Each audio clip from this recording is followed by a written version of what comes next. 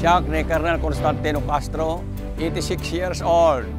Nayanakak ditoy La Union, adda asawa, adda talong anak ken talong apo. Retire iti Philippine Constabulary. Nagsakita iti puso ket tay kandak iti pacemaker. Iti tulong iti diet ken ni Arcisio, dahil iti tawin kong na 86 years old, na piksa ak pailaing. Kaya kaya to iti gayayam iti gor. Gayayamak maminduwa iti may sa nga Domingo, kadwak iti gagayim ko.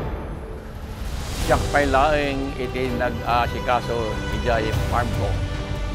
Nagarasak nga rumuwar, kadwak iti gagayim ko. Duwa nga tawinin nga iniinom ko iti MX3 capsule na malpasak nga mga iti aldaw. Simayag iti riknak and pimig sa akpay. For me, MX3 is like a golf. It helps me hit the ball.